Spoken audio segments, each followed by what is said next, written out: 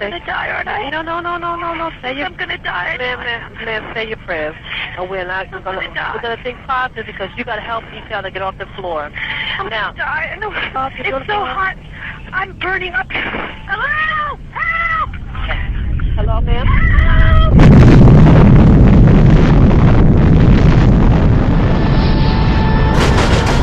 Osama bin Laden is the world's most wanted terrorist.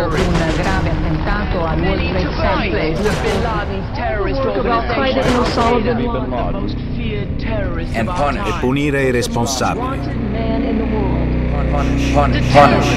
It's a vast empire. I want Io voglio giustizia e mi ricordo di quei vecchi manifesti che circolavano nel vecchio West. Ricercato, vivo o morto. Sul sito web dell'FBI trovate Osama Bin Laden. È citato tra i terroristi più ricercati dall'FBI. Potete notare che è ricercato per gli attacchi del 1998, ma non per l'11 settembre. Diversi giornalisti infatti hanno chiesto all'FBI come mai non avete collegato Bin Laden all'11 settembre.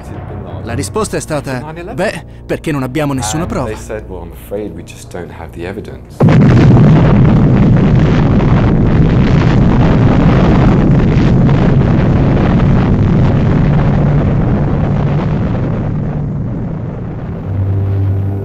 E questo è solo l'inizio.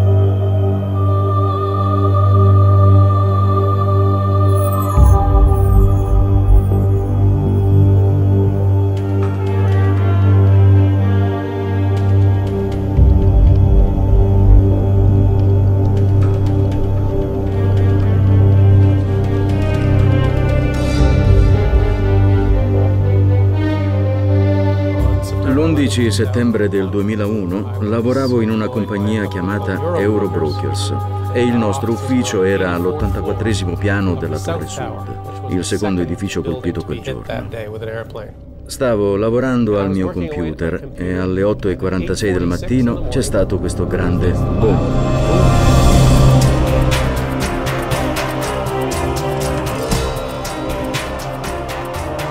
Alle ore 8, 46 minuti e 40 secondi, il volo 11 si schianta contro la torre nord, squarciandone i piani dal 93 al 99.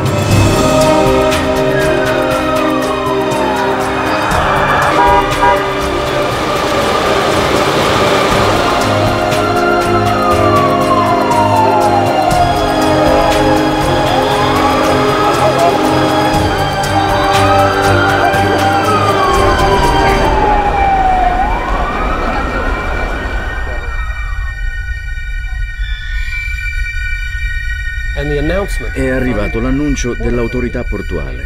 Attenzione, prego. L'edificio 2, il nostro edificio. L'edificio 2 è sicuro. Non c'è bisogno di evacuare l'edificio 2. Due o tre minuti dopo stavo parlando con un certo Bobby Cole. Bobby si trovava 8 o 10 piani più in basso quando ha sentito l'annuncio ed è tornato su. E mentre mi diceva questo, boom, boom, due enormi esplosioni e il nostro edificio ha vacillato. Alle 9, 3 minuti e 11 secondi, il volo 175 impatta contro la torre sud.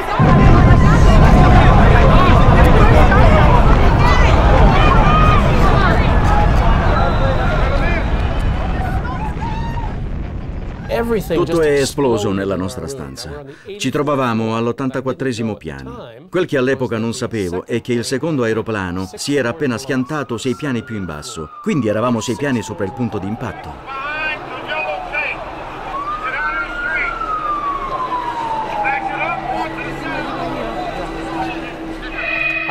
Ho sentito battere sulla parete e una voce molto debole che invocava aiuto all'81 piano. L'ho raggiunto e l'ho tirato su. Dopo mi ha detto che gli sembravo Superman. Siamo caduti all'indietro. Lui è franato proprio su di me e mi ha dato un grosso bacio.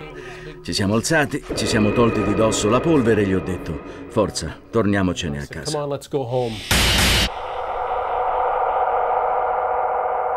Al primo impatto le due torri tremano, e vistosamente anche, ma eh, riprendono subito il loro assetto strutturale. Perché? Perché sono state concepite proprio con questo intento.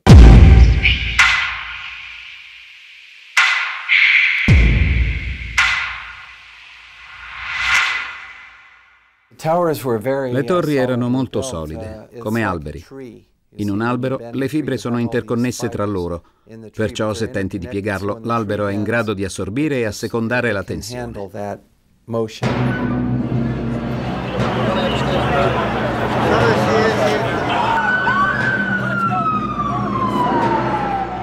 Eppure, 56 minuti dopo l'impatto con il volo 175, la torre sud crolla improvvisamente.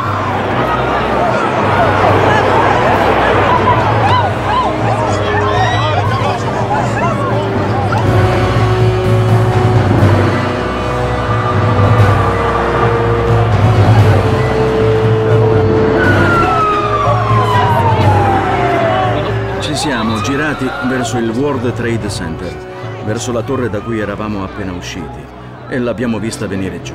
Siamo rimasti a bocca aperta, mentre in soli 8-10 secondi la torre è crollata su se stessa e si è polverizzata.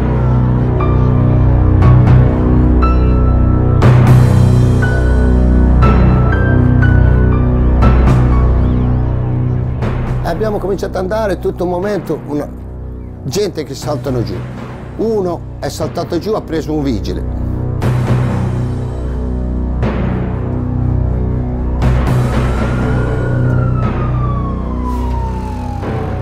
Alle 10.28 anche la torre nord crolla.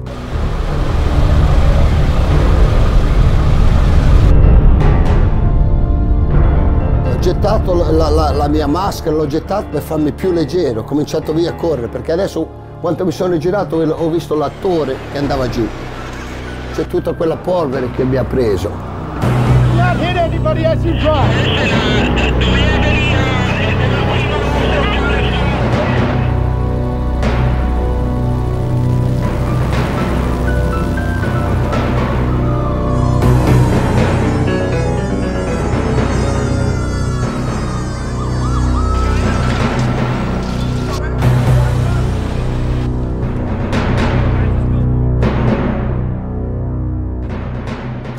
Sono arrivato a casa, tutta la mia famiglia a aspettarmi.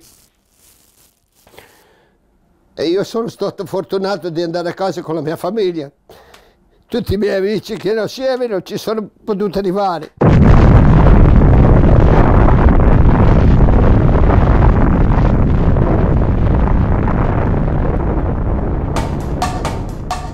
La versione ufficiale del crollo delle torri gemelle è del National Institute of Standards and Technology, che tra il 2002 e il 2006 ha studiato la distruzione del World Trade Center, giungendo alla conclusione che il crollo delle torri è dovuto all'effetto combinato degli impatti degli aerei e degli incendi scatenati da quegli impatti.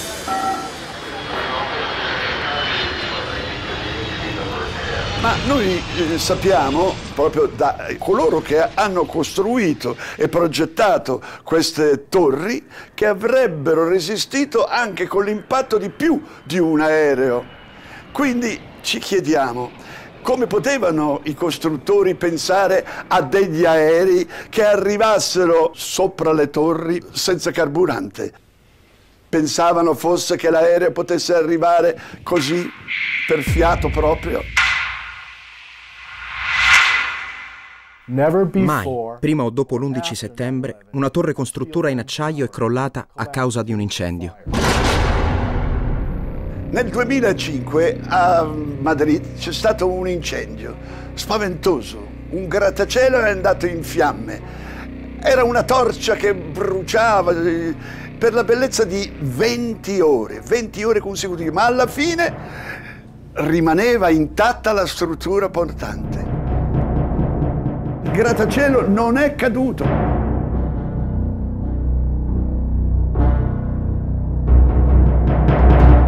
Come ben potete vedere, tutto il palazzo è avvolto dalle fiamme. Questo grattacielo non è ancora terminato, è in costruzione. Ciò nonostante rimane in piedi.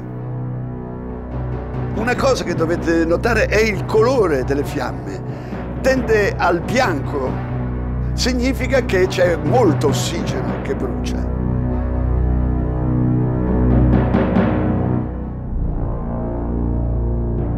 Per quanto riguarda invece le fiamme delle due torri di New York, ci accorgiamo subito che le fiamme sono di rosso scuro e il fumo è nero. Gli incendi che divampano in quelle torri emettono un fumo denso, di colore grigio scuro, quasi nero. Questo indica che il fuoco era corto di ossigeno. Ebbene, ciò nonostante, dopo 55 minuti, tutta la torre crolla.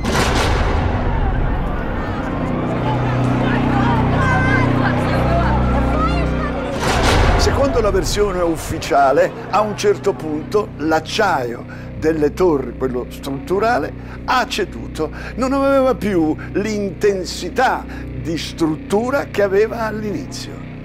Viu! E tutto questo a causa del calore, un calore immenso. E qui c'è qualcosa che suona strano soprattutto perché a un certo punto abbiamo saputo che qualcuno è riuscito a scendere dall'alto della torre, di questa torre, attraversando il punto di maggior violenza per quanto riguarda il fuoco ed è giunto fino in fondo. Come si è riuscito? Non lo so, quando ho guardato giù non ho visto fiamme. Ho pensato che la cosa migliore da fare fosse tentare di spingerci il più avanti possibile, fino a quando non avessimo incontrato l'incendio. Quando abbiamo raggiunto il 78 piano, le pareti erano ancora integre, anche se attraversate da crepe, e c'erano fiamme che lambivano l'altro lato del muro. Non era certo un inferno di fuoco, anzi mi è sembrato che le fiamme all'interno fossero a corto di ossigeno. Abbiamo continuato a scendere e quando siamo arrivati al 74 piano era tutto normale, le luci erano accese e dal basso giungeva aria pulita.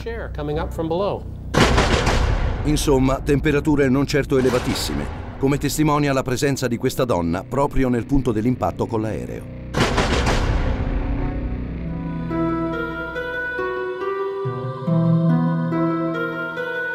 Il National Institute of Standards and Technology per verificare l'effettiva dinamica dei crolli e come il calore avesse agito sull'acciaio, ha svolto numerosi test, alcuni dei quali sono stati condotti da una società di nome Underwriter Slabs.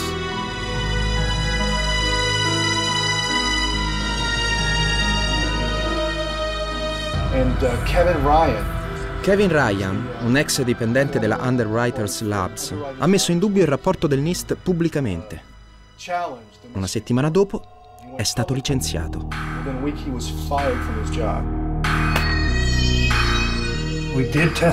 Abbiamo effettuato dei test su alcuni modelli in scala della struttura nell'agosto del 2004 e quei test hanno contraddetto la spiegazione ufficiale del crollo delle torri, la cosiddetta pancake theory. Secondo quella teoria, i piani delle torri erano crollati gli uni sugli altri, come una pila di frittelle, e i pilastri avevano ceduto. Ma nei nostri test i piani non crollavano. Questi test venivano effettuati all'interno di fornaci, con temperature più alte e per intervalli di tempo più lunghi, ma i piani non crollavano lo stesso. Alcuni mesi dopo il governo ha aggiornato il rapporto ufficiale, affermando non solo che i piani non erano crollati, ma che erano stati testati alcuni campioni di materiale prelevati sul posto. E secondo quei test le temperature risultavano molto basse.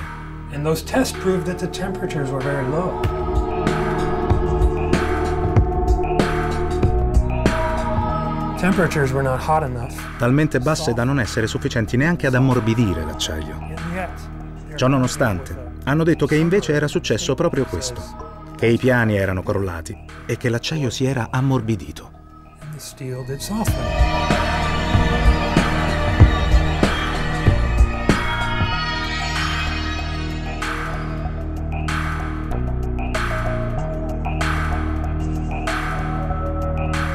Dunque hanno minimizzato i risultati dei test o addirittura li hanno ignorati e alla fine li hanno inseriti tutti in un computer. Grazie al computer, il NIST riesce a far tornare i conti. La vecchia Pancake Theory viene sostituita dalla Inward Bowing Theory.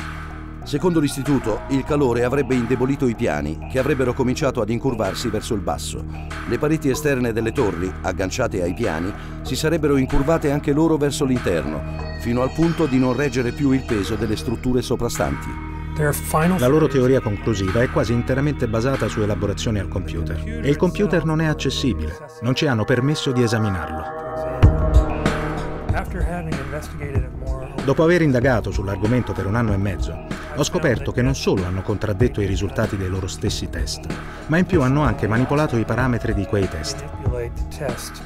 Hanno raddoppiato qualcosa, hanno dimezzato qualcos'altro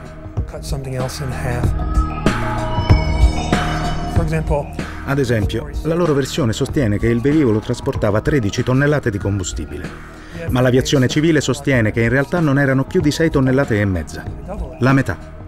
L'hanno raddoppiata. E hanno raddoppiato il tempo di esposizione dei pilastri al fuoco, 90 minuti, mentre sappiamo che tale esposizione è stata di 45 e 50 minuti nei due edifici.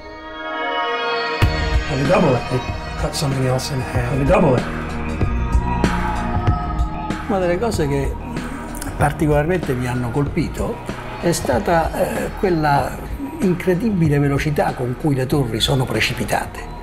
È una velocità che ha qualcosa di veramente innaturale. Se noi lasciassimo cadere un, un peso da circa 400 metri di altezza, quanto era appunto l'altezza delle torri, il tempo di caduta di questo peso, immaginando poi che non ci fosse nemmeno la resistenza dell'aria, che in ogni modo rallenta la velocità di caduta, noi avremmo in pratica un tempo dell'ordine di circa 9 secondi. In soli 8-10 secondi la torre è crollata su se stessa. L'impatto è avvenuto grosso modo a due terzi dell'altezza della, della torre. Posto anche che la parte superiore sia collassata all'improvviso per il cedimento strutturale, anche considerato che l'impatto della parte sovrastante sia molto potente, che quindi possa in qualche modo compromettere la resistenza della struttura sottostante, in ogni modo è chiaro che la velocità di caduta di questa, di questa torre per la resistenza che la parte ancora integra presenta non può eh, avvenire con questa rapidità, quasi come se sotto non ci fosse niente, perché sotto c'era come una struttura, una struttura forte, resistente, che quindi doveva rallentare molto la velocità di caduta. Qui, vicino alle due torri, c'è un'altra torre abbastanza grande, la quale è stata colpita dai detriti di questa torre eh, che eh, è crollata. Quell'edificio è enorme, è un edificio di 47 piani e non è stato colpito da nessun aereo. Eppure è venuto giù nello stesso giorno, ma sette ore dopo il crollo dell'ultima torre, sette ore dopo.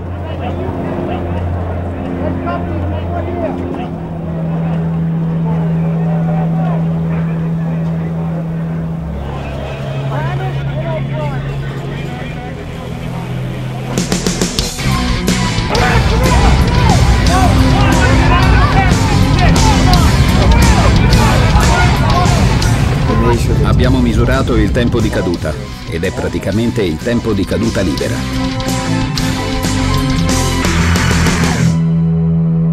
Il crollo della torre nord infligge gravi danni all'edificio 7, nel quale scoppiano numerosi incendi.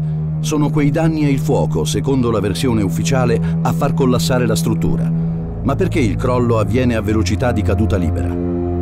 Quando ho visto il crollo del World Trade Center 7, ho capito subito che si trattava di qualcosa che doveva essere studiato, che non poteva essere ignorato. Ma non è tutto. C'è qualcosa di insolito che accomuna le macerie dell'edificio 7 e quelle delle torri gemelle. Qualcosa che non può essere certo il risultato di un crollo spontaneo. Uh, C'è questo metallo fuso che abbiamo studiato approfonditamente, che viene dagli edifici ed è stato rinvenuto in pozze sotto le macerie dei tre grattacieli, e cioè delle due torri e dell'edificio 7. È stata un'analisi metallografica fatta da un istituto specializzato che ha esaminato la struttura di una trave eh, presa da, dal ground zero. Quando sono state sfilate queste travi, la parte eh, che era sotto le macerie pare come se diciamo, ci fossero delle parti fuse. Ora qui il fenomeno è veramente inspiegabile perché abbiamo a che fare con temperature dell'ordine di 800 gradi nella migliore delle ipotesi. Ora, per, per poter avere la fusione di una, di, una, di una, trave di acciaio bisogna arrivare a temperature dell'ordine di 1600 gradi. 1600 gradi come?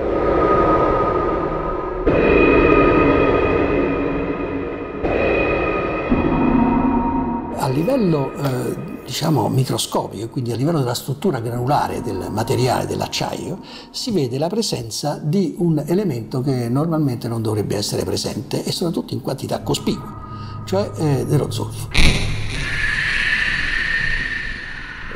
Ora abbiamo capito da dove viene questo metallo fuso. Viene da un materiale chiamato termite, che è costituito da una miscela di polvere di alluminio, ossido di ferro e zolfo. La temperatura è talmente elevata che il ferro fonde. Fonde perché la temperatura riesce a raggiungere in pochissimi secondi eh, oltre 2000 gradi. L'impiego di termite avrebbe certamente potuto provocare la, la fusione delle travi d'acciaio. You see the presence of thermite now in these la presenza di termite negli edifici, ovviamente, indica che qualcuno deve aver piazzato questo materiale sui pilastri di acciaio per reciderli.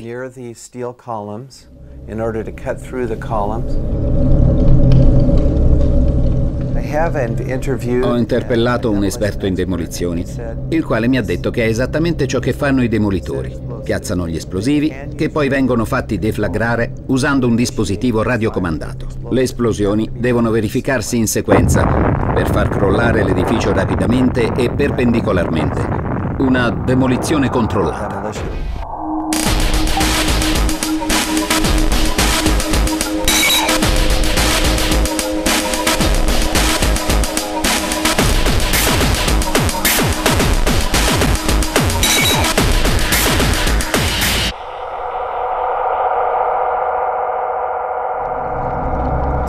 Come scienziati dobbiamo sempre considerare diverse ipotesi e spiegazioni, ma dobbiamo anche osservare tutti i dati e decidere quale spiegazione sia più calzante. Bisogna considerare il quadro complessivo. Certo si può valutare un fatto isolato, ad esempio gli sbuffi di fumo, e dire, beh, forse è la pressione dell'aria che ha fatto esplodere una finestra.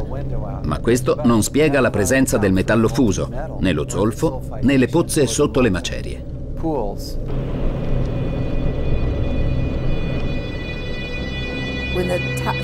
Quando la torre sud è crollata, proprio di fronte al mio appartamento, ho messo da parte un campione di polvere e l'ho consegnata a Stephen Jones.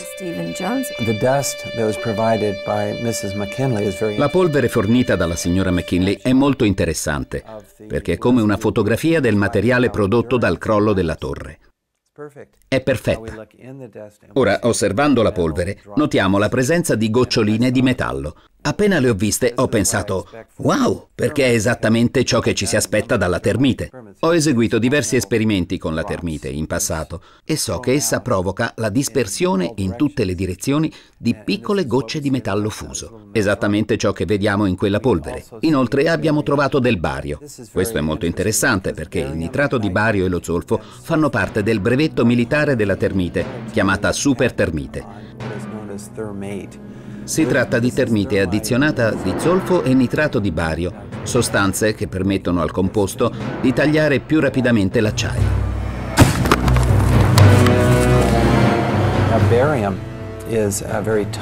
Il bario è un metallo molto tossico, quindi non è normale che sia presente in quella polvere in concentrazioni così alte.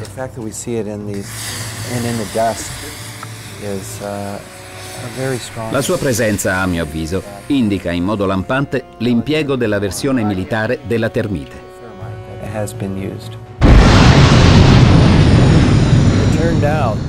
È emerso che decine di pompieri e di operatori sanitari hanno dichiarato di aver udito una, due, tre, sette, otto, per qualcuno addirittura dieci esplosioni all'interno dell'edificio.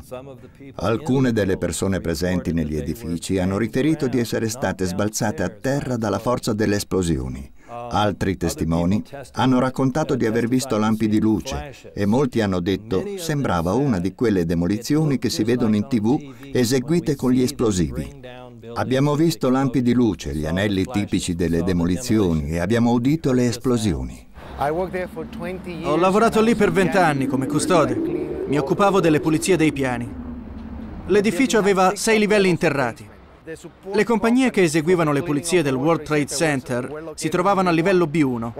Mentre ero lì alle 8.46 abbiamo sentito un'esplosione talmente forte che ci ha sollevati da terra.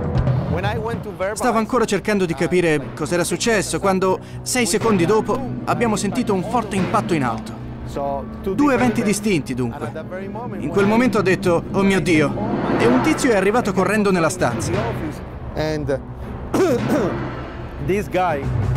Aveva le mani protese in avanti, così, e le braccia completamente spellate, con la pelle che gli penzolava dalle punte delle dita. Come un, come un guanto strappato. Pensavo che fosse un tessuto. Quando stavo per dirgli qualcosa, l'ho visto bene in faccia e ho notato che gli mancavano dei pezzi di viso. Quel giorno William Rodriguez aveva l'unico passepartout. Con quella chiave ha cominciato a salire aprendo tutte le porte per permettere ai pompieri di entrare. E lui da solo ha tratto in salvo qualcosa come 15 o 20 persone. Ho cominciato ad aprire le porte delle scale per permettere alla gente di scappare. Willy è diventato un eroe ed è stato invitato alla Casa Bianca. Abbiamo una foto in cui George Bush rende onore a Willy Rodriguez per il suo eroismo. Abbiamo sentito boom, boom, boom, varie esplosioni. Ho chiesto ai pompieri cosa fossero quelle esplosioni e loro mi hanno risposto forse sono le bombole di gas delle cucine. No! No! I fornelli erano tutti elettrici, dunque non aveva alcun senso. Pa, pa, pa, pa, pa, pa. Sento un scoppio forte, un scoppio che non ho mai sentito in tutta la mia vita, un scoppio forte. Ho sentito fortissime esplosioni a livello della strada, un vero mistero.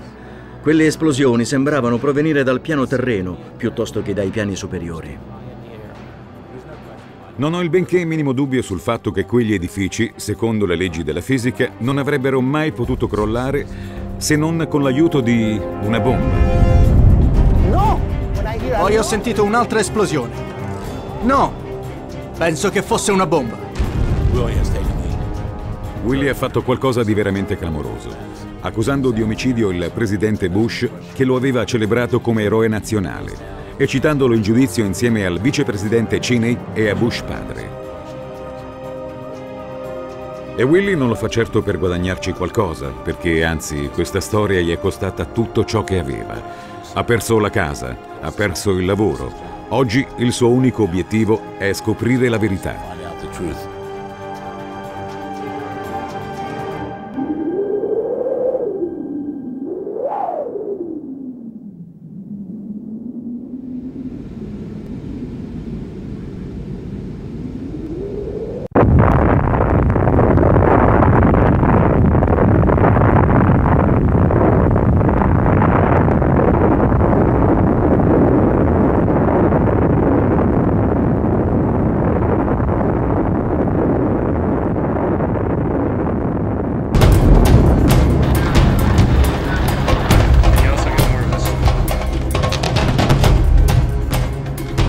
Secondo la versione ufficiale, alle 9.37 il volo 77 dell'American Airlines si sarebbe schiantato contro il Pentagono.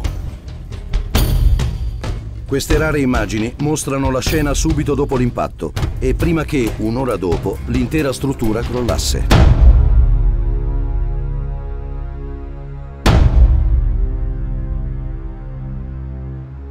Come vedete, si tratta di una scena piuttosto insolita. Ci si sarebbe ragionevolmente aspettati di vedere qualcosa del genere. ovvero pezzi d'aereo, valigie, rottami dappertutto, come in ogni disastro aereo. E invece no.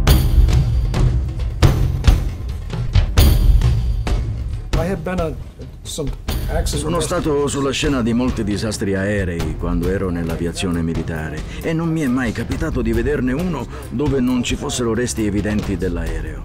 Qui abbiamo un presunto disastro aereo dove non ci sono indizi, nessuna prova, zero.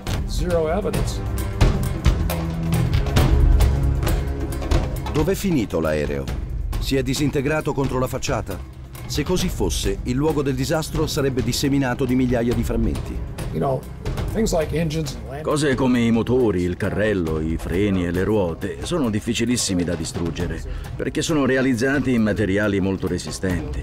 Non credo sia possibile far andare un aereo tanto veloce da polverizzare tali elementi. Non l'ho mai visto succedere in vita mia. Ti guardi intorno e c'è un buco di soli 5 metri per un aereo che è largo 38.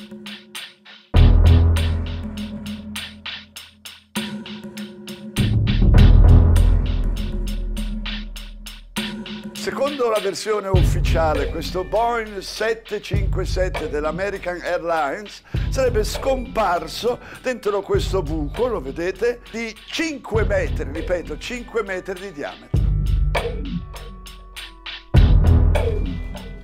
Facciamo qualche calcolo.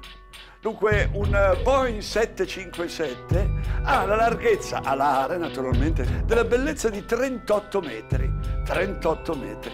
Per quanto riguarda invece l'altezza al timone, alla coda, è di 13 metri e mezzo entrare in 5 metri tutta questa dimensione di apparecchio mi pare un po' difficile.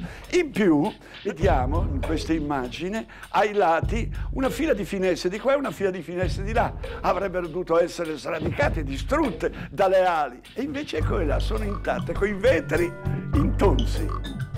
Per anni i militari hanno taciuto di fronte alle domande di un numero crescente di persone che contestavano la versione ufficiale. Quando il giornalista francese Thierry Meissan ha pubblicato il libro L'incredibile menzogna, sono saltate fuori le giustificazioni più surreali, come quella che ha sostenuto che l'aereo si era vaporizzato per la velocità e la potenza dell'urto. Si è diffusa così la teoria della gassificazione dell'aereo. La cosa molto strana è la scomparsa di alcuni elementi di questo Boeing. Prima di tutto i due motori, per di più le ali.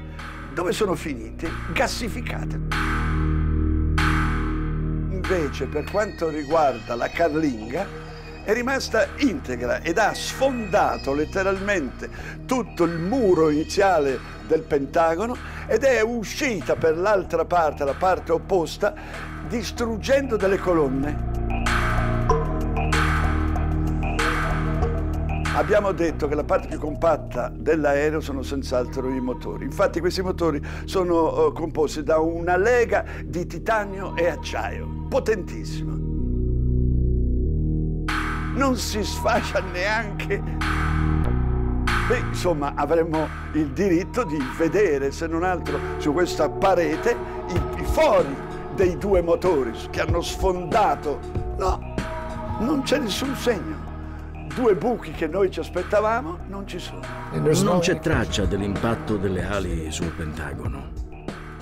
Sulla facciata della torre nord si vedeva distintamente la sagoma dell'aereo, inclinata di 25 gradi. Si distinguono chiaramente i contorni del primo motore, della fusoliera e del secondo motore. Possiamo vedere chiaramente la sagoma dell'aeroplano sulla facciata della torre, ma non vediamo niente del genere al Pentagono.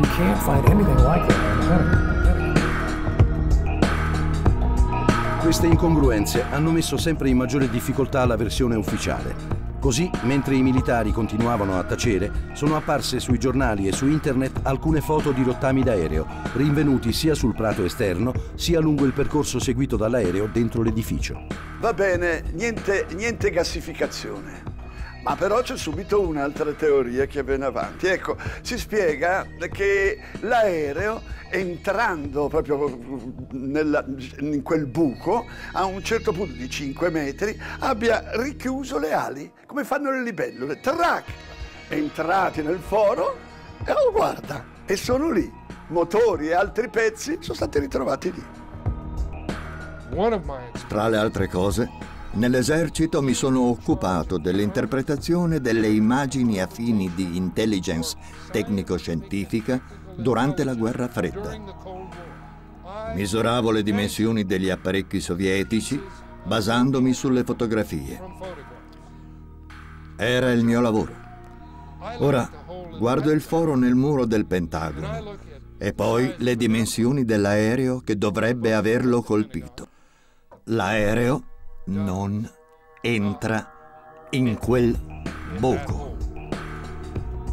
Dunque, che cosa ha colpito veramente il Pentagono? Cosa lo ha colpito? Dov'è? Cosa sta succedendo?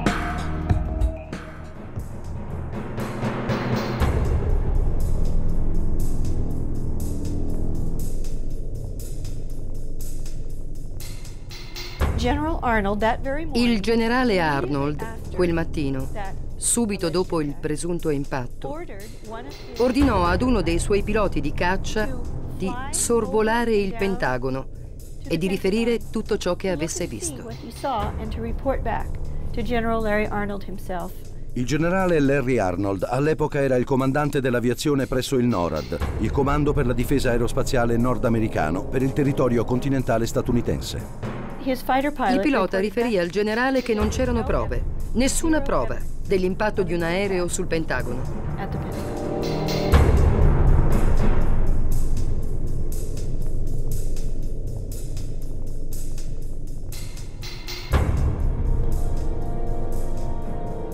Visto che il Pentagono era in possesso di 86 riprese differenti e totali perché non mostrarne dei pezzi integri alla gente che è dubbiosa?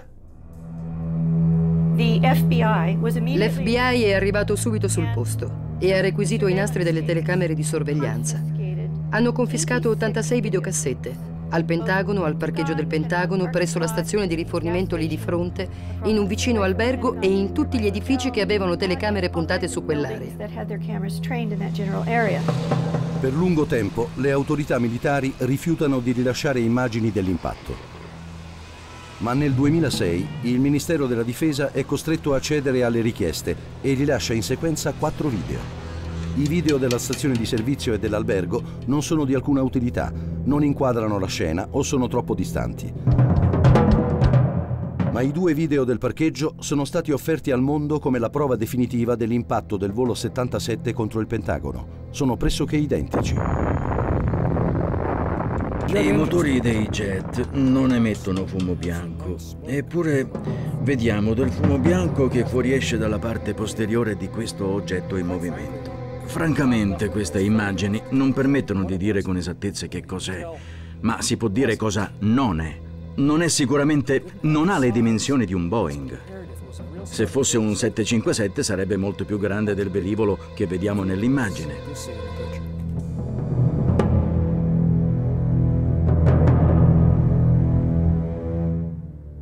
Con tutta la buona volontà, voi riuscite a vedere un aereo qui? Ma eh, il Pentagono ci ha risposto, sì, no, non si vede l'aereo, perché purtroppo l'aereo è passato fra un fotogramma e l'altro, fotogramma e l'altro è passato. Ma però dico, questo aereo, dove è finito?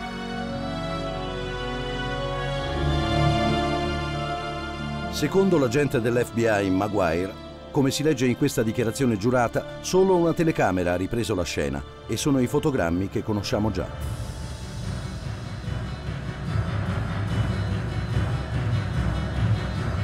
Racconto di, di, oltretutto di come sarebbe arrivato questo aereo è molto paradossale.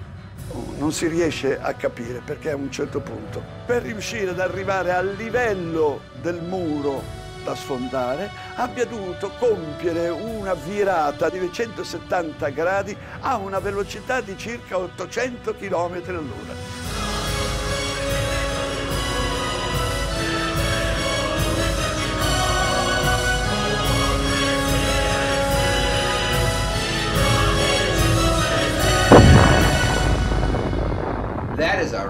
Si tratta di una manovra estremamente difficile. Posso dire che anche un pilota esperto, un pilota con migliaia di ore di volo alle spalle, avrebbe probabilmente bisogno di 10 o 20 tentativi. Un pilota eccezionale con migliaia di ore di volo all'attivo, 10 o 20 tentativi per riuscire ad eseguirla correttamente. Un 757 non è concepito per fare una cosa del genere, un 757 è concepito per viaggiare in linea più o meno retta nel cielo, non è acrobatico. Certe manovre non sono possibili con un aereo così grande.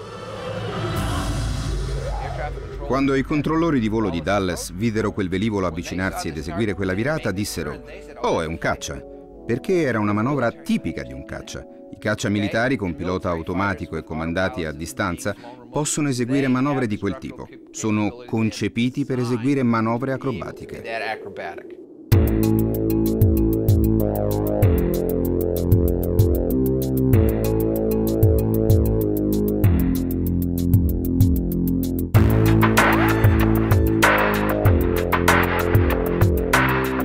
Assurdo per assurdo, c'è anche l'altezza a cui volava questo aereo ha continuato a ridisegnare le varianti del terreno a 6 metri dal suolo per un chilometro scavalcando una collina, poi c'era un raccordo stradale e poi è arrivato finalmente di fronte eh, senza fare altre virate perché ormai cielo non aveva più spazio.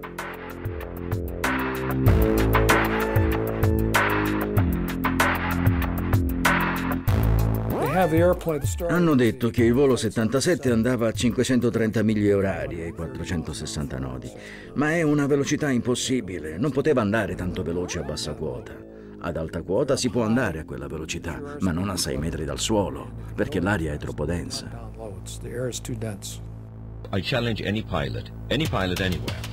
Give him a Boeing 757, tell him to do 400 knots 20 feet above the ground for half a mile.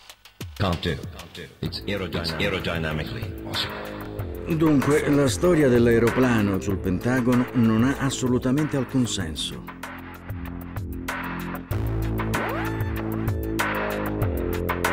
Identificato il pilota e anche il maestro, meglio dire l'istruttore di volo, questo istruttore di volo ha dichiarato che il suo allievo non era in grado nemmeno di pilotare un monomotore.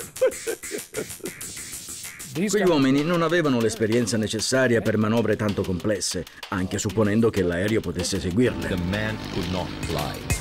Non esiste al mondo che un pilota che ha volato solo a bordo di un piccolo 172 riesca a manovrare un jet mai pilotato prima. Sarebbe come dire a qualcuno che ha affettato il tacchino a Natale, bravo, adesso fai un trapianto di cuore. Ma ammettiamo pure che questo pilota così scarso abbia avuto la possibilità di pilotare un Boeing 757. Resta da capire come abbia potuto questo pilota riuscire a violare lo spazio aereo più protetto del mondo.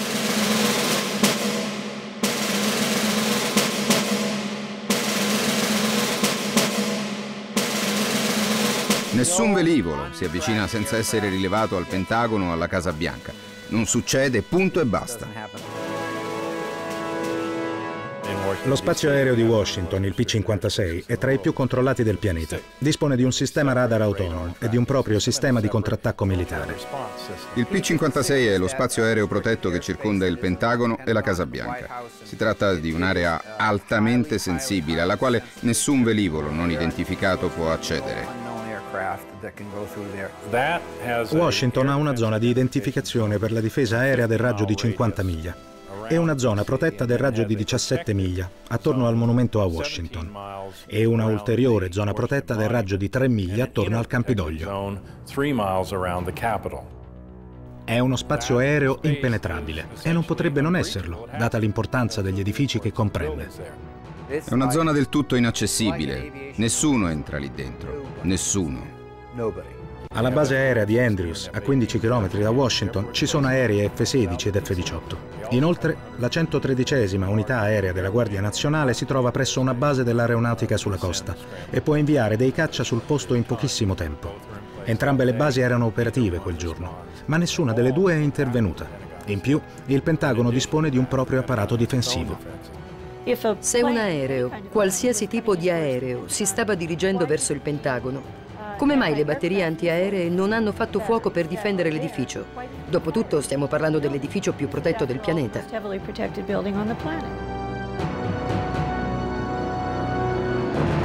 Quel velivolo doveva essere un aereo militare, perché solo gli aerei militari possono inviare un segnale IFF, cioè identificazione amico o nemico.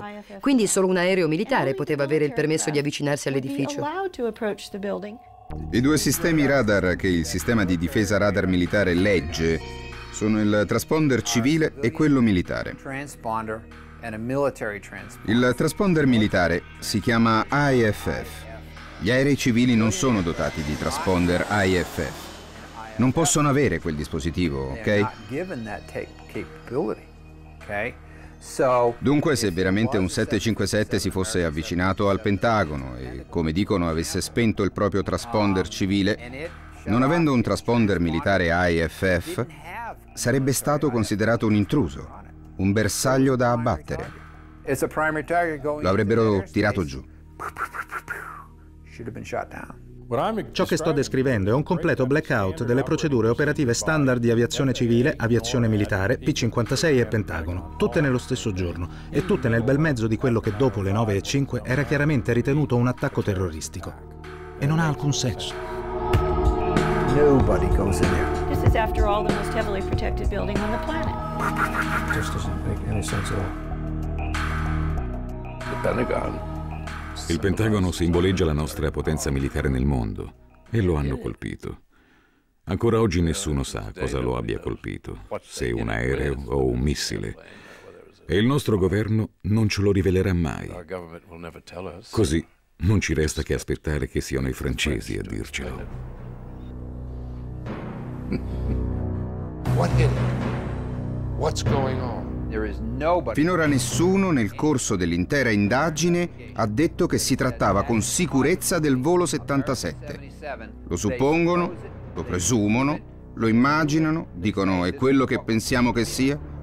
Il controllore di volo Daniel O'Brien, che ha visto un oggetto non identificato avvicinarsi da ovest ad alta velocità, non poteva sapere di cosa si trattasse, perché disponeva soltanto dei dati del radar primario, mentre il radar secondario, il transponder, era spento. Per identificare un oggetto rilevato dal radar primario è necessaria una comunicazione reciproca fra il pilota e il controllore di volo e il pilota deve fare rapporto su una determinata località geografica oppure deve esserci la possibilità di dire al pilota di eseguire una serie di virate. E allora il controllore può osservare tutti gli oggetti presenti sul suo schermo radar e dire qui c'è un aereo che ha appena eseguito la serie di manovre che gli ho detto di eseguire. Ora sì che posso identificarlo, ma questo non è mai accaduto. Pazzesco. Se veramente il volo 77 è scomparso dallo schermo radar per 36 minuti, come risulta dalla versione ufficiale, ciò significa che non era più in volo o che volava tanto basso da non essere rilevabile dai radar. Una delle due. Dunque, è forse atterrato da qualche parte? In qualche campo isolato? In questo caso avrebbe senso che l'aereo sia stato perso di vista per 36 minuti. A parte questa, non esistono altre spiegazioni convincenti.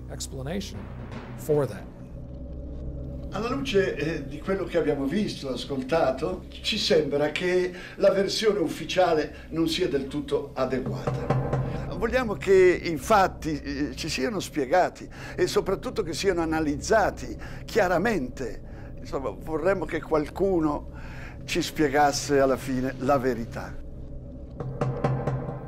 Gli Stati Uniti spendono 892 miliardi di dollari l'anno per difendere i propri cittadini e il proprio territorio. Sono il paese meglio difeso del mondo, lo ha detto il presidente Bush. Eppure l'11 settembre è stato assaltato dal cielo il cuore dell'America e 3.000 cittadini americani inermi sono stati uccisi nelle loro città.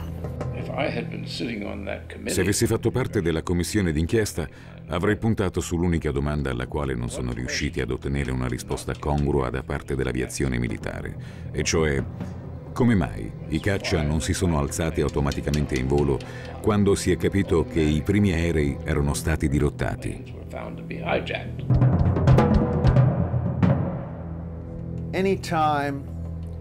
Se un aereo di linea va fuori rotta o perde il contatto radio o perde il segnale del transponder,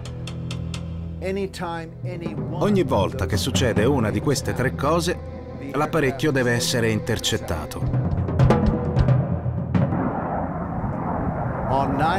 L'11 settembre, tutte e tre queste cose sono accadute, eppure nessun aereo è stato intercettato. Quegli aerei sono rimasti in volo dai 20 ai 90 minuti, senza essere intercettati. Noi abbiamo dei contatti diretti con uh, il, uh, i colleghi della difesa aerea mediante coordinamenti diretti che vengono eseguiti con questo apparato touchscreen qui solo pigiando un tasto così viene inviata la chiamata alla quale direttamente risponde l'operatore della difesa in questo caso giusto il tempo di rispondere alla telefonata 2-3 secondi e già l'informazione può essere scambiata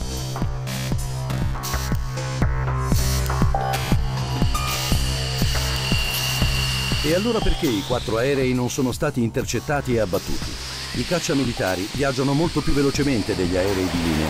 Anche se si fossero alzati in volo in ritardo, li avrebbero facilmente raggiunti prima degli schianti. Questo aereo può raggiungere una velocità massima di Mach 205, eh, significa che supera due volte la barriera del suono.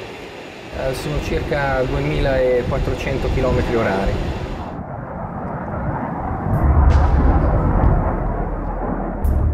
Nel nord-est degli Stati Uniti ci sono ben 16 basi aeree. Perché i Boeing non sono stati intercettati? Secondo la versione ufficiale, la difesa aerea sarebbe stata avvisata in ritardo. Una delle bugie più enormi riguarda la presunta incompetenza dell'aviazione civile. Quando perdiamo un aeroplano, interveniamo immediatamente, non indugiamo, non perdiamo tempo. Ci atteniamo al protocollo. Boom, boom, boom, boom, boom. Quando i controllori di volo hanno visto il volo 11 perdere il contatto, staccare il transponder, andare fuori rotta e tutte quelle cose che stavano succedendo, non si sono certo presi una pausa caffè.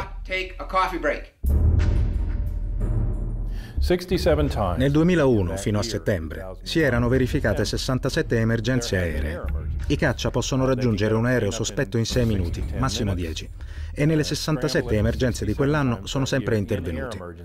Non era mai successo che un'emergenza aerea fosse ignorata per tanto tempo, fino all'11 settembre. Molte persone dicono, beh, il presidente doveva dare l'autorizzazione ad abbattere quell'aereo, cose simili, ma non è vero. Un pilota di caccia ha la responsabilità e la facoltà in piena autonomia di abbattere un velivolo se ritiene che la situazione lo richieda. Ed è così che funziona. Non c'è bisogno di attendere un comando militare. Non c'è bisogno di attendere ordini di alcun genere. Non è una possibilità. È la regola. Fa parte dell'essere un pilota di caccia. È un preciso dovere, a meno che qualcuno non ti ordini di rimanere a terra. Prima del 1970 avevamo un solo protocollo per il decollo dei caccia, un protocollo immediato, rapidissimo. Poi negli anni 70 si verificarono diversi casi di aerei dirottati nel nostro spazio aereo civile e i tempi di reazione non erano altrettanto rapidi. Per evitare che i dirottatori si accorgessero del nostro intervento, i caccia non decollavano immediatamente, ma si avvicinavano discretamente al velivolo sospetto da dietro le sue spalle. Così abbiamo aggiunto un secondo protocollo. E questo secondo protocollo era più lento, dato che era necessaria l'approvazione del Pentagono per far decollare i caccia.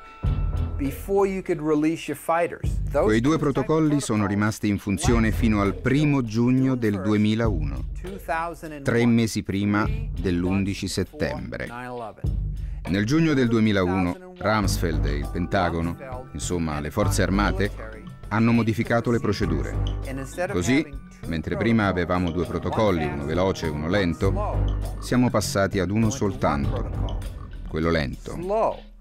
Se avessimo reagito all'emergenza immediatamente, i caccia sarebbero decollati subito e gli aerei dirottati non avrebbero mai e poi mai raggiunto i loro obiettivi. Ma quando i controllori di volo hanno notificato l'anomalia ai militari, dato che esisteva ormai un solo protocollo a cui fare riferimento, indovinate che cosa è successo? Indovinate chi non ha risposto al telefono? Il Pentagono. Faccio un esempio che permetterà a tutti di capire quel che ha fatto Rumsfeld.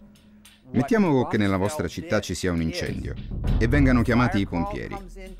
Beh, prima che i pompieri possano uscire dalla caserma, devono telefonare al sindaco e chiedere la sua approvazione per poter intervenire.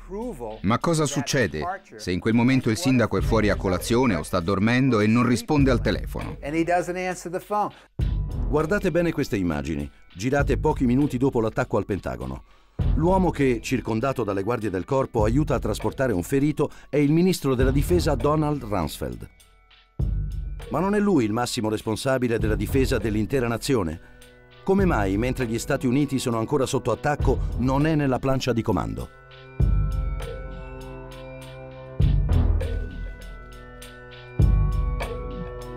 Le telefonate sono arrivate al Pentagono, ai militari. Ma i militari sono rimasti seduti a dire non rispondete al telefono.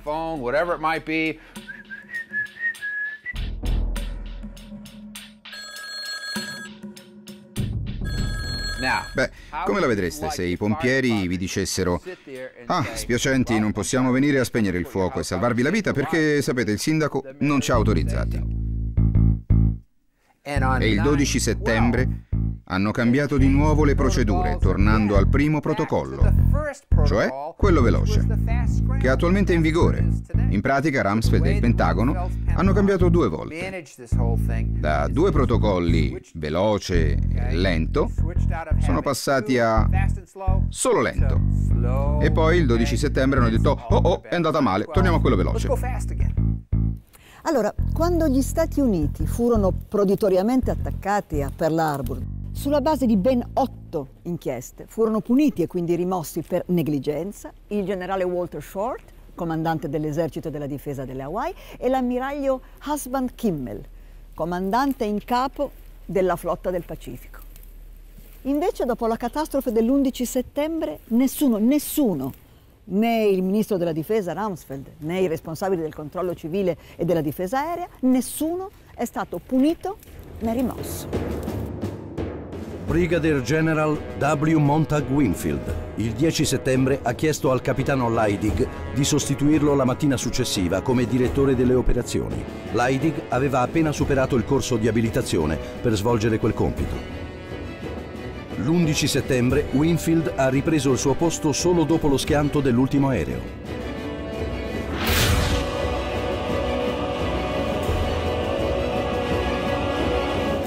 Capitano Charles Leidig era direttore delle operazioni all'NMCC in sostituzione di Winfield la mattina dell'11 settembre.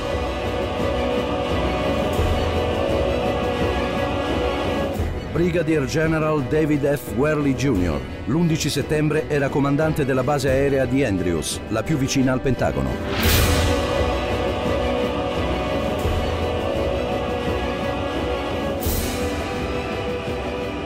Richard B. Myers, Vice Chairman del Joint Chief of Staff. In assenza del Chairman Shelton, l'11 settembre era a capo di tutte le forze armate.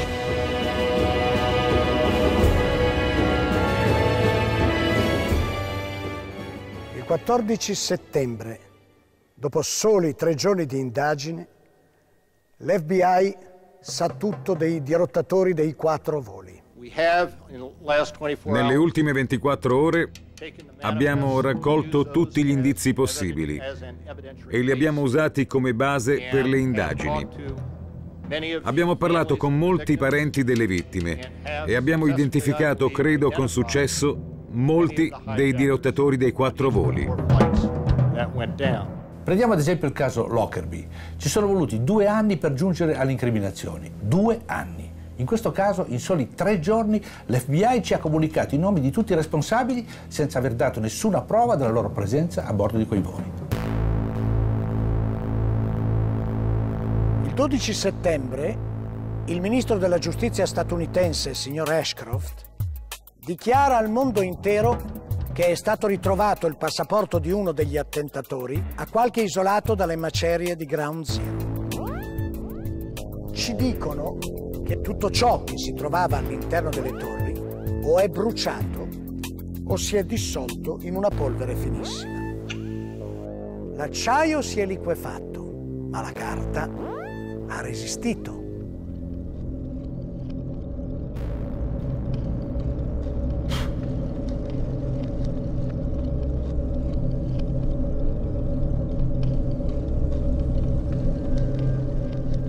Chi erano realmente i dirottatori? La versione ufficiale dice che 15 su 19 venivano dall'Arabia Saudita, che si erano addestrati in Afghanistan e che erano fondamentalisti islamici, dei musulmani fanatici. Al-Qaeda dovrebbe essere un'organizzazione salafita e il salafismo è una corrente molto puritana dell'Islam che suggerisce di seguire alla lettera i precetti del profeta Maometto. Quelle persone erano fondamentalisti islamici? I fatti suggerirebbero di no. Mohammed Atta non era affatto un fondamentalista islamico. Beveva sempre. Se non era vino era birra o qualche liquore. Insomma, beveva sempre. Sempre. E poi c'era la cocaina. Montagne di cocaina. Mohammed e le persone del suo giro erano sempre ubriachi, strafatti, completamente fuori di testa.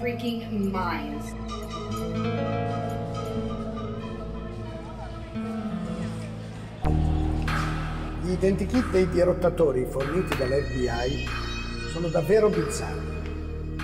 Ad ogni identikit corrispondono più persone.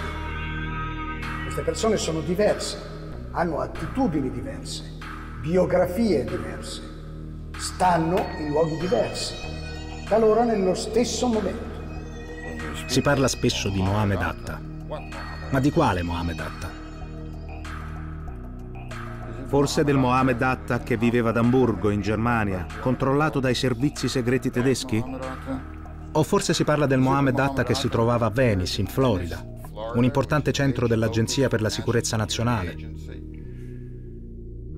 dove frequentava una piccola scuola di volo per monomotore e bimotore Cessna.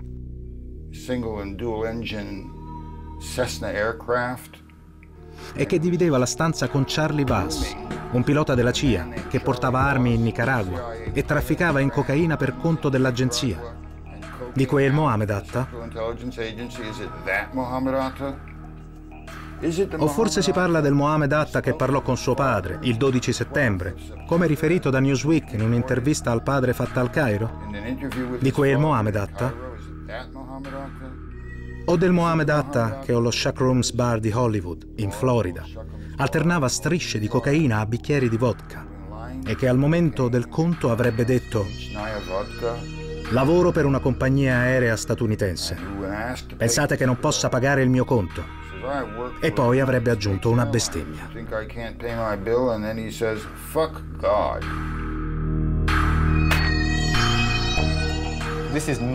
Questo non è il comportamento di un fondamentalista islamico che sta per partecipare a una missione suicida. Prima che l'ATA eh, che risiede ad Amburgo in Germania, eh, secondo la versione ufficiale, si trasferisca negli Stati Uniti, il suo omonimo americano in realtà visita un ufficio del Dipartimento dell'Agricoltura dove si rivolge ad una funzionaria richiedendo un prestito di 650 mila dollari. Con questo prestito lui vorrebbe affittare un piccolo aeroplano e metterci dentro un grosso serbatoio chimico. Dinanzi al rifiuto della donna di accordare il prestito, lui comincia a minacciarla di volerle tagliare la gola, eh, poi le dice di essere un pilota dell'American Airlines, butta sulla sua scrivania dei fasci di banconote chiede delle informazioni circa i sistemi di sicurezza delle torri gemelle, cerca persino di acquistare un poster del Pentagono che si trova sui muri dell'ufficio e soltanto dopo va via. Ecco, ci si chiede se questo è il comportamento di un membro di una cellula dormiente, non è piuttosto quello di qualcuno che stia invece cercando di farsi ricordare. Secondo la versione ufficiale, Al-Omari e Atta partono dalla Florida direzione Boston. È da lì infatti che dovranno partire due degli aerei da dirottare. Ma una volta arrivati a Boston, l'auto non si ferma, prosegue per il Maine, 300 km più a nord. È il pomeriggio del 10 settembre. Il giorno dopo i due dovranno affrontare la giornata più importante della loro vita, una giornata che non ammette ritardi. E loro cosa fanno? Una gita a Portland. Trascorrono lì la nottata e si fanno notare per i loro schiamazzi. Inoltre pagano con carte di credito intestate a loro nome. Insomma, fanno di tutto per lasciare tracce del loro passaggio. Lasciano il Maine la mattina successiva. Lo fanno in aereo, direzione Boston, alle 6 di mattina. L'aereo che devono dirottare decolla solo mezz'ora dopo l'atterraggio del loro volo. Un tempo decisamente risibile che rischia di fare fallire tutti i loro piani. Il momento della partenza da Portland alla volta di Boston è molto importante sia per le indagini che per l'opinione pubblica. È lì infatti che viene registrato dalle telecamere dell'aeroporto il video in cui vediamo i volti di Atta e di Al-Omari. Questo video ci è stato mostrato centinaia di volte in televisione come prova dell'imbarco di due terroristi sull'aereo che stanno per dirottare. Falso. Quel video mostra i due che si imbarcano a Portland. Non c'è nessuna prova della presenza di questi dirottatori. Questa è semplicemente una cosa che la FBI dice, senza prove, non ci sono prove. Non c'è nessuna maniera di comprovare la presenza di uno di questi pazzis, capri espiatori, su, su, sugli aerei. Non c'è. Il 16 settembre il dirottatore del volo 11, Abdelaziz al-Omari, si presenta al consolato americano di Jeddah per protestare. Al-Omari, pilota della Saudi Airlines, riceve le scuse ufficiali dai rappresentanti americani a Riyadh.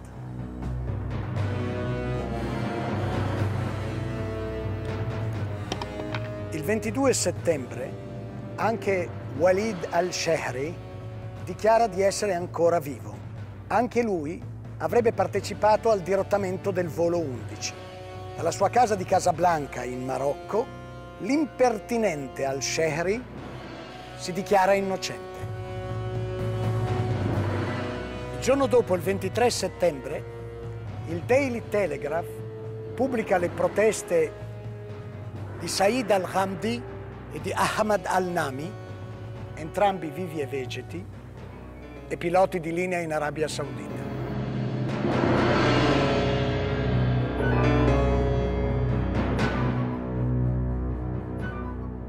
Il 27 settembre la CBS rintraccia Salem al-Hasmi.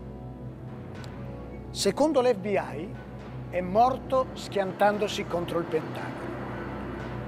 Invece, curiosamente, si ostina a girare vivo in Arabia Saudita, dove lavora in un impianto petrolchimico. I nomi di Al-Omari, Al-Shehri, Al-Khamdi, Al-Nami, Al-Hazmi sono forse stati depennati dalla lista dei dirottatori con tante scuse.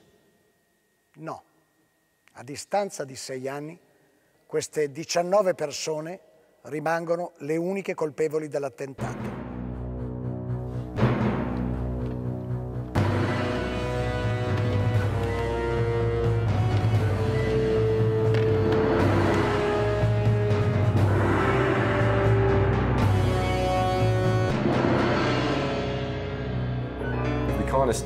Per un'indagine, non riuscire a stabilire l'identità dei responsabili è un problema serio. Sollevare questa questione non significa avanzare una teoria cospirazionista. Significa semplicemente criticare la natura assolutamente ridicola di questa indagine. Di fatto, non hanno la minima idea di chi abbia eseguito quegli attacchi.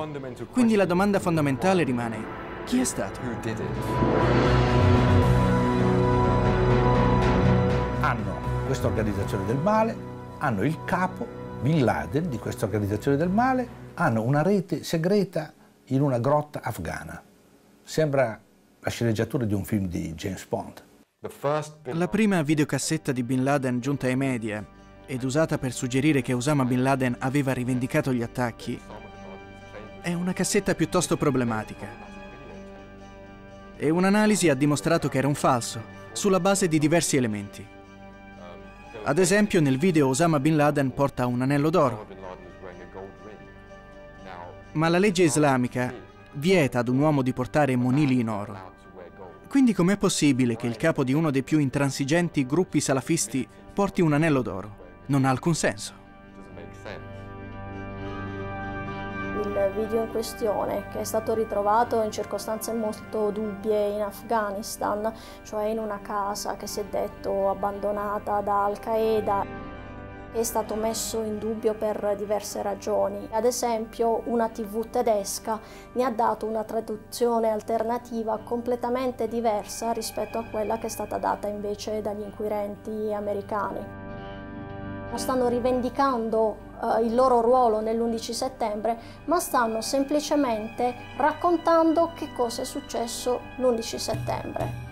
Molti degli altri video di Osama Bin Laden sono in realtà dei video che hanno una persona che parla e un audio di sottofondo che non corrisponde o che corrisponde, sembra corrispondere molto poco a quello che in realtà eh, le labbra stanno dicendo. Mi è capitato più volte di sentirmi dire, ma come fate a contestare la versione ufficiale se lo stesso Osama Bin Laden più di una volta è apparso sugli schermi televisivi di tutto il mondo dicendo sono stato io? Allora vi racconterò un piccolo episodio e dico subito che ve lo devo raccontare perché le immagini noi le abbiamo ma non le possiamo mostrare perché coloro che le hanno fatte queste immagini ce lo hanno vietato. Io, eh, in qualità di membro della Commissione Sicurezza e Difesa del Parlamento Europeo, sono stato invitato nell'estate del 2005 ad assistere alla proiezione di un PowerPoint organizzato dal Center for Strategic Studies di Washington. Si trattava di guardare che cosa accadrebbe in Europa se eh, Bruxelles venisse colpita da una bomba nucleare 50.000 morti, 100.000 feriti, la nuvola che si muove, le reazioni delle capitali occidentali e poi a un certo punto improvvisamente in questo filmato compare Osama Bin Laden che si attribuisce l'attentato all'arma nucleare contro la sede della Nato di Bruxelles. Devo dire che i deputati presenti, me compreso, dopo questa visione non hanno neanche cominciato la discussione, c'erano lì gli esperti americani del Center for Strategic Studies di Washington, un deputato ha chiesto la parola e ha detto ci avete fatto vedere oggi la dimostrazione più esplicita che Osama Bin Laden può essere manipolato in ogni modo.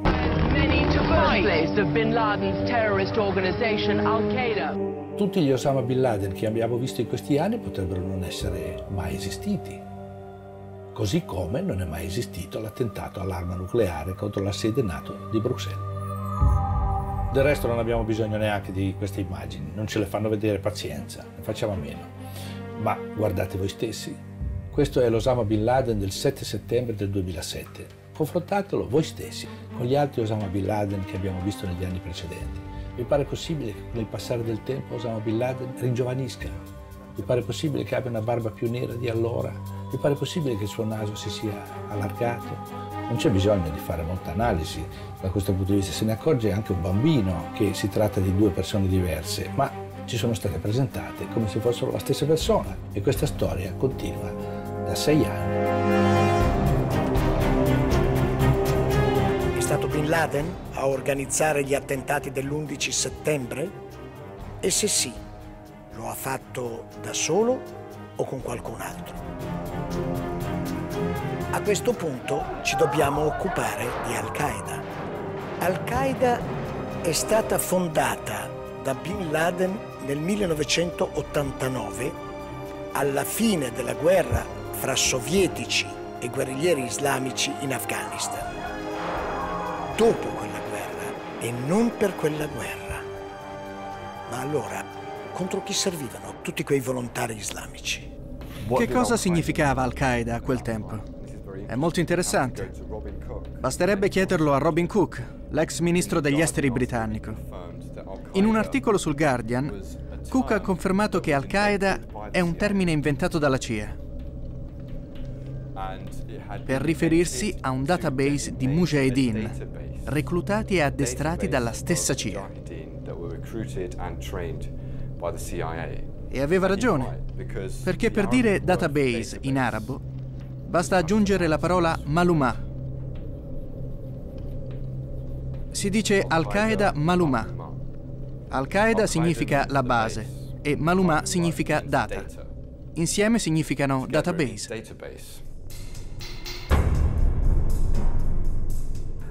Al-Qaeda è una bufala. Al-Qaeda non è un'organizzazione. Al-Qaeda è solo un'etichetta. Non esiste un'organizzazione che si chiama Al-Qaeda. Al-Qaeda è una lista di partecipanti alla guerra in Afghanistan negli anni Ottanta. Al-Qaeda non è niente. È solo un fantoccio gonfiato dalla propaganda occidentale per mostrare alla gente il grande male.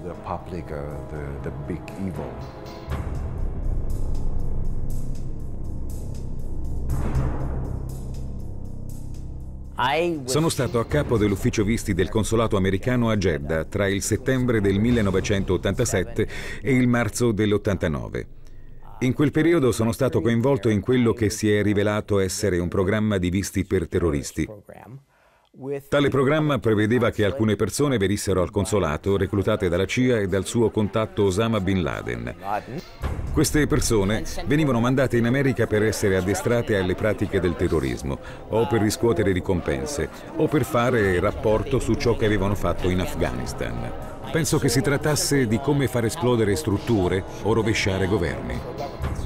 Dopo la guerra fredda, i legami con Al-Qaeda si sono intensificati e moltiplicati. Al-Qaeda è stata controllata in molti modi, direttamente e indirettamente.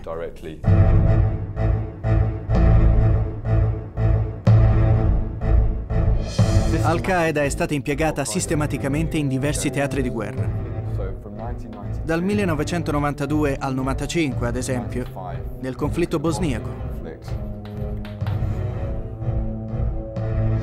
Ritengo che il governo americano abbia lavorato con diverse organizzazioni arabe e musulmane, Al-Qaeda o persone che poi sarebbero diventate Al-Qaeda. Il governo le ha addestrate, armate e inviate nei Balcani per rovesciare Slobodan Milosevic e i suoi alleati. Tale politica si è protratta nei Balcani anche fino a dopo il 2001.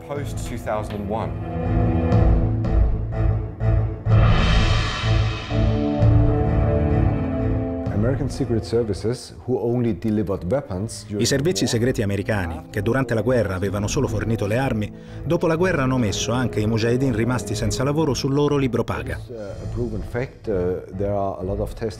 Disponiamo di molte testimonianze di mujahideen rese a tribunali tedeschi. Erano assunti da subappaltatori del Pentagono e in particolare dall'agenzia privata MPRI, Military Professional Resources Incorporated.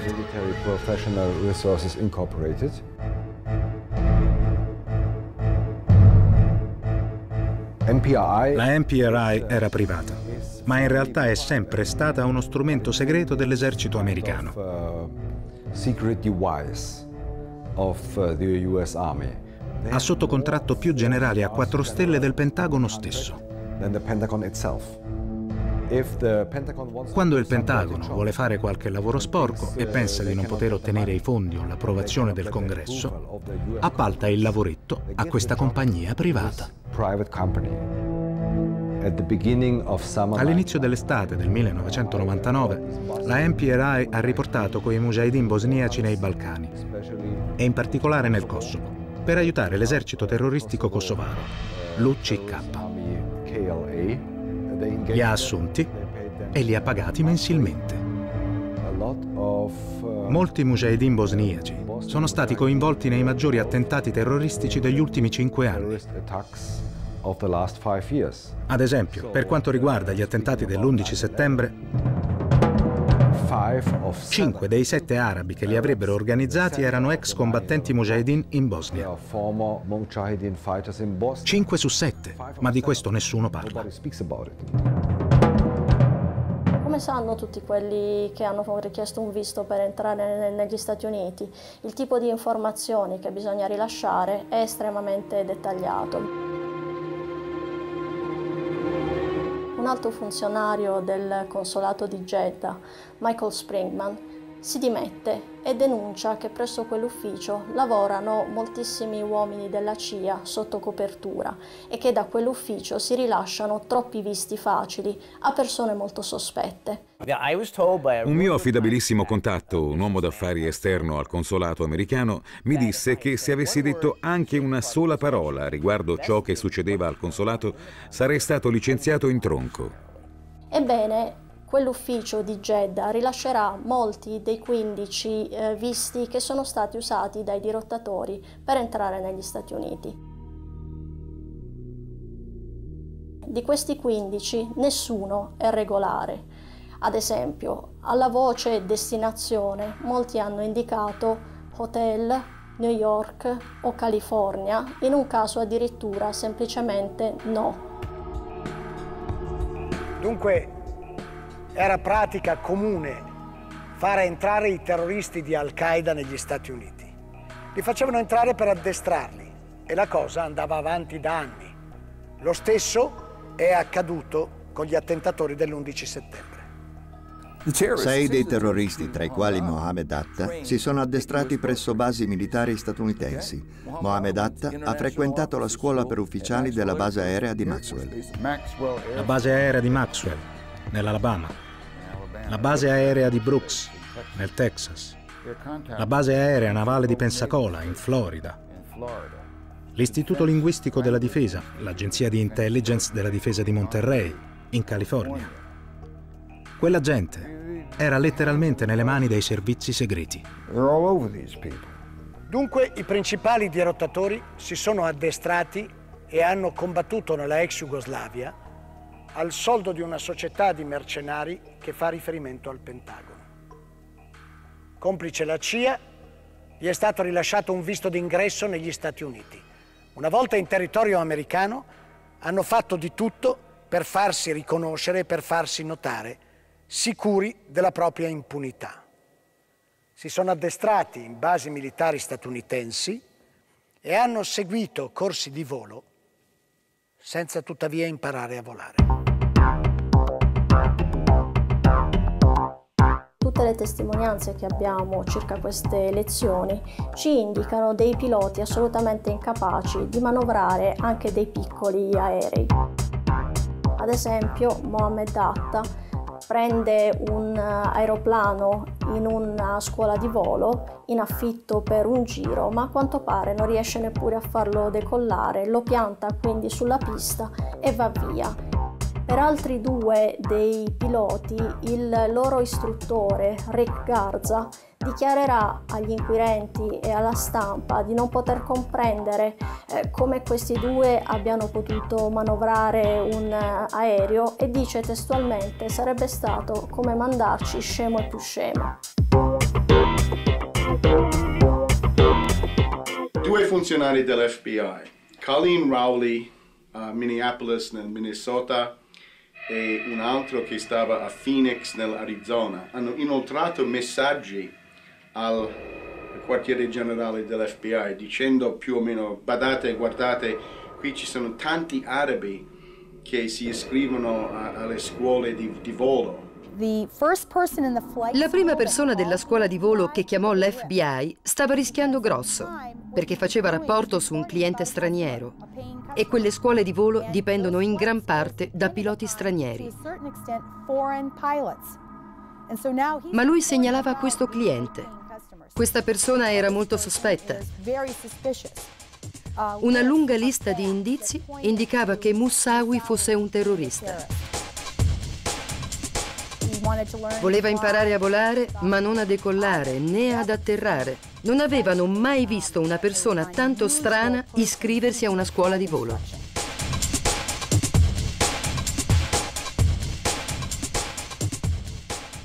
Colin Rowley ha avvertito subito i suoi superiori a Washington, ma non è successo nulla.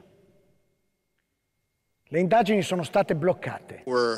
Non c'era stata alcuna segnalazione, per quanto ne so, che potesse far presagire una tale operazione sul nostro territorio.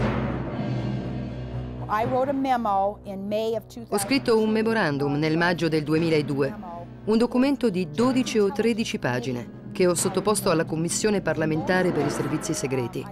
In pratica dichiaravo che non era vero che gli attentati dell'11 settembre non avrebbero potuto essere previsti.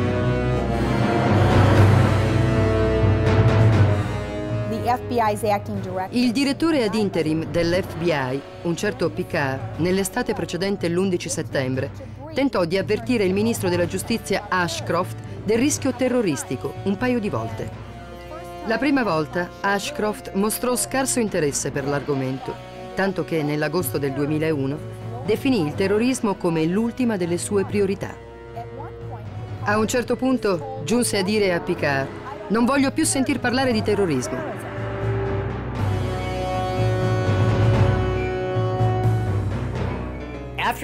Dopo l'11 settembre del 2001, quando venne a sapere degli aerei che si erano schiantati sul World Trade Center e sul Pentagono, dissi: Gesù.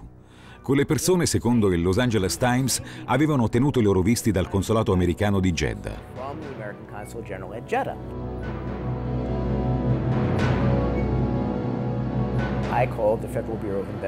Ho chiamato l'FBI e gli ho spiegato come funzionava il programma per i visti ai terroristi. Ho chiamato molte volte, sono stato dirottato da un ufficio all'altro dell'FBI, fino alla sede di Washington. E lì qualcuno mi ha detto, la richiameremo noi. Beh, sei anni dopo sto ancora aspettando.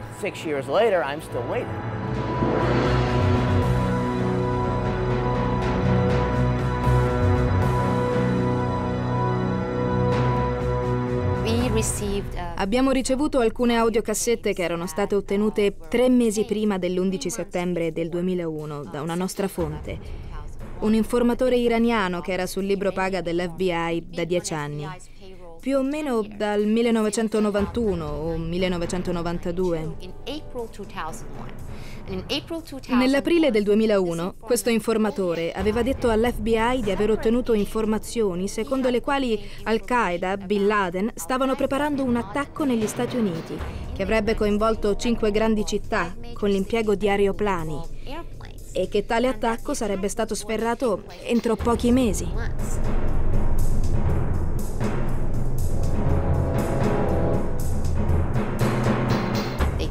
Hanno preso l'informazione, l'hanno giudicata importante, hanno riempito moduli, poi sono tornati al quartier generale e hanno passato l'informazione ai loro superiori, ma non è successo niente. Due mesi dopo si sono incontrati con lo stesso informatore e l'informatore gli ha chiesto avete fatto qualcosa riguardo le notizie che vi ho fornito? Provenivano da fonti molto attendibili.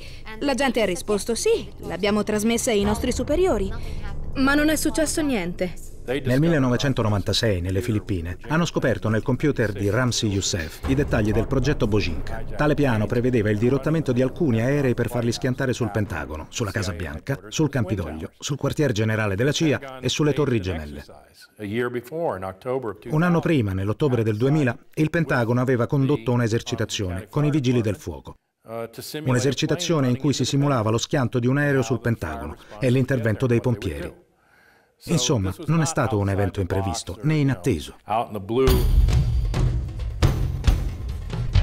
Non solo se lo aspettavano, si erano preparati ad affrontarlo. Una delle dichiarazioni più frequenti espresse dall'amministrazione Bush è stata questi attacchi ci hanno colto di sorpresa. Credo che nessuno avrebbe potuto prevedere l'uso di aerei dirottati come missili. Non credo che il governo potesse prevedere che avrebbero lanciato aerei di linea contro gli edifici in così gran numero. Secondo USA Today, dal 1999 l'aviazione militare statunitense compiva quattro volte all'anno delle esercitazioni in cui si simulava il dirottamento da parte di terroristi di aerei civili. I bersagli previsti erano le Torri Gemelle e il Pentagono.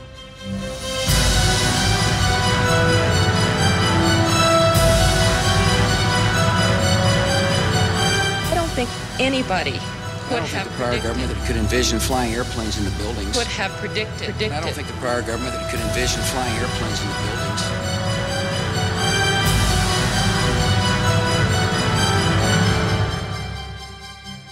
L'11 settembre del 2002 il New York Times ha scritto a distanza di un anno i cittadini sono meno informati sulle circostanze in cui sono morte 2.801 persone in pieno giorno all'estremità meridionale di Manhattan di quanto nel 1912, trascorsa qualche settimana, non lo fossero a proposito del Titanic. Cinque anni dopo quell'articolo, quanto avvenne quel giorno resta un mistero.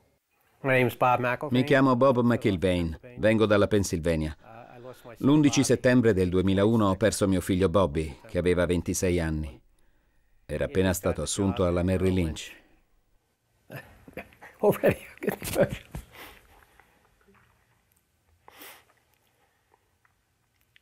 It's, it always hits your point. È sempre così difficile. Don't worry, I'll get over it. But I mean, Non preoccupatevi, adesso mi passa. Ma voglio dire, ogni volta che penso a quel giorno, il dolore torna a straziarmi. And of course, when you keep Pensi che parlandone prima o poi il dolore diminuirà, ma non succede mai. I risultati della commissione d'inchiesta sono stati molto deludenti. Molte prove sono state ignorate. Molti testimoni non sono stati neppure chiamati a deporre. Il rapporto finale sorvola su molte, moltissime questioni chiavi. A few days before 9/11, Qualche giorno prima dell'11 settembre, Mohamed Atta riceve una cospicua somma di denaro, qualcosa come 100.000 dollari, che gli vengono consegnati da un ufficiale dei servizi segreti pakistani. big scandal is that the 9/11 Lo scandalo è che la commissione sull'11 settembre del Congresso degli Stati Uniti non ha mai interrogato quell'uomo, né ha mai tentato di fare luce sulla storia di quei 100.000 dollari. the story of this 100,000. Mentre tutte le altre testimonianze venivano trasmesse in tv su tutto il territorio nazionale, la mia l'hanno voluta a porte chiuse. Perché l'hanno voluta a porte chiuse? Non ha senso. Comunque ho detto loro esattamente le stesse cose che ho detto qui. Che avevamo udito delle esplosioni, che c'erano persone ustionate prima che l'edificio fosse colpito dall'aereo e che quelle persone erano vive e potevano essere interrogate. To be uh, uh, interrogated. And uh, wow, what a surprise! Che sorpresa quando è stato pubblicato il rapporto conclusivo. Il mio nome non compariva da nessuna parte. Non venivo proprio nominato. Non hanno mai chiamato nessuno dei testimoni che gli avevo segnalato. that we gave them. So you have 17 C'erano 17 pompieri, c'erano 22 sopravvissuti e non ne hanno chiamato mai nemmeno uno.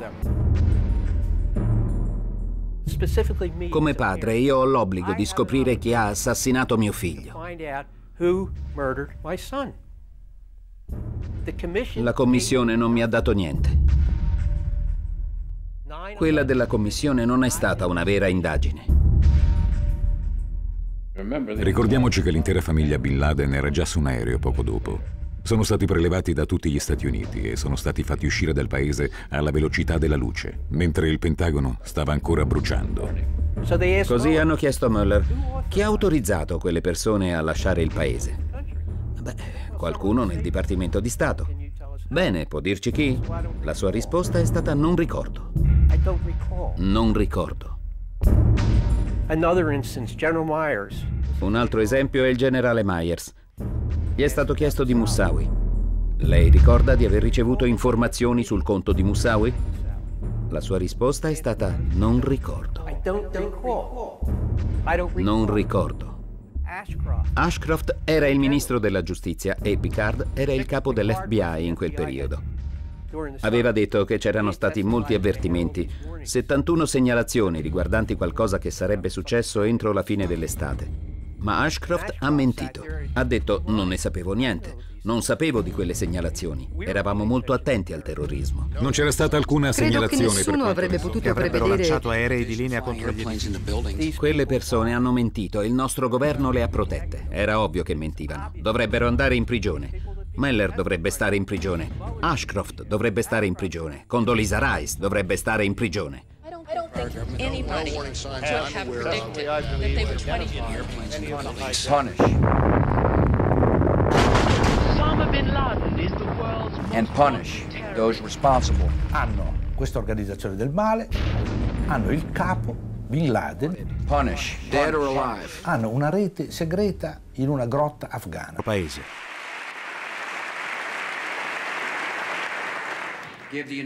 Permettete agli Stati Uniti di accedere ai campi di addestramento dei terroristi per accertare che non siano più operativi. E sia ben chiaro che queste richieste non sono negoziabili.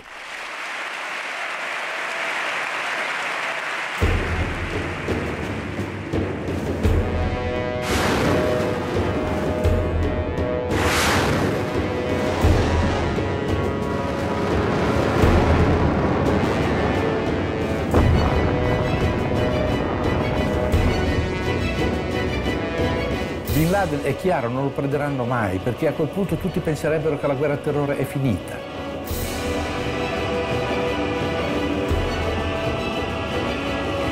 È difficile per gli americani immaginare quanto cattive siano le persone che stanno facendo questo.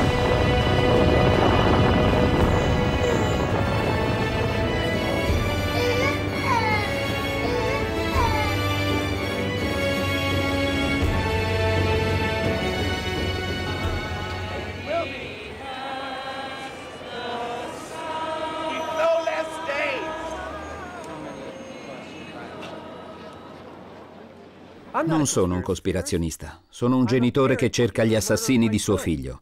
E devi essere un idiota per credere che 19 arabi hanno fatto tutto questo. Questo lo capisce anche il mio cane. Mettetevi nei miei panni e pensate a cosa fareste se vostro figlio fosse stato assassinato e nessuno indagasse sulla sua morte. Come vi sentireste se qualcuno si rifiutasse di indagare sull'assassinio di vostro figlio? The murder of your child.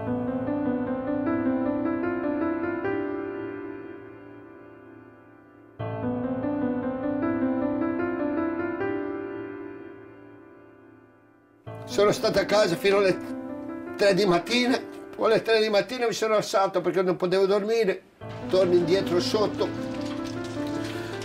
sotto laggiù a cercare qualche dono. Non poteva essere un vigile o, un poliziotto, volevo trovare anche se era una persona che lavorava lì, solo per dare un po' di, di fascione a.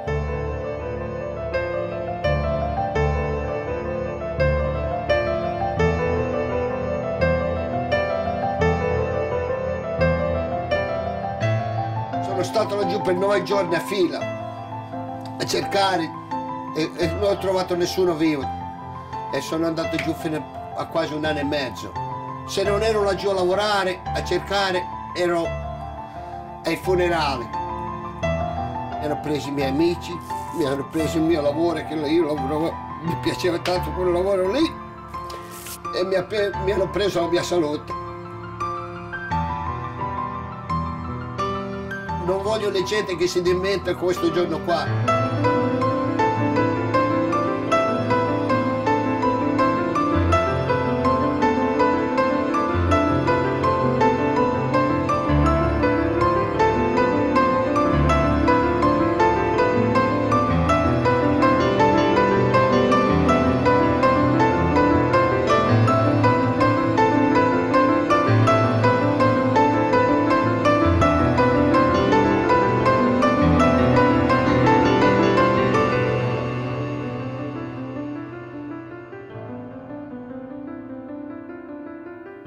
Questa storia deve essere raccontata. Il problema degli americani è che vivono come su un grosso iceberg. Viviamo sulla punta dell'iceberg e siamo spaventati dalle verità più nere della nostra storia. E la situazione continua a peggiorare. Questa è una verità davvero oscura. Potrebbe tirare giù l'intero iceberg, che poi si spera riemergerà. Ma dobbiamo conoscere la verità o questo paese non vale più niente. Tutta questa storia è uno schifo e la gente dovrebbe vergognarsi di non cercare la verità.